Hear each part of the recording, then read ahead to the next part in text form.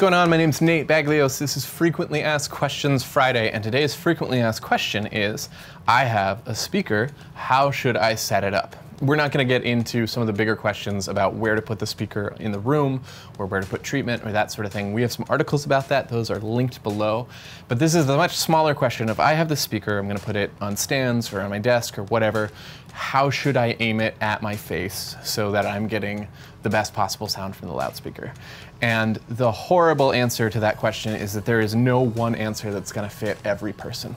Uh, so we covered in another frequently asked questions Friday, and if you bought Kali speakers, you have this in your quick start guide that if you're using the LP series, you should keep those right side up or upside down, and that has to do with the shape of the waveguide. On the IN series, these can go on their side, um, which means that there are more options in how you can place it. So the first thing, though, is that in a vertical sense, you want to make sure that the tweeter is within about 15 degrees of your ear. It doesn't need to be aimed directly at your ear, but you do want to make sure that you're in that relatively narrow window of 15 degrees. Uh, in a horizontal sense, there's a lot of different ways of thinking about it. I would typically start with the speaker aimed directly at my ear. So the tweeter aimed directly at my ear with the thought that I was going to move the speaker out so that rather than hitting my ear, if you can imagine uh, an equilateral triangle with the speakers, the apex of that triangle is maybe six inches or so behind your head. You can even move the speakers out further and further.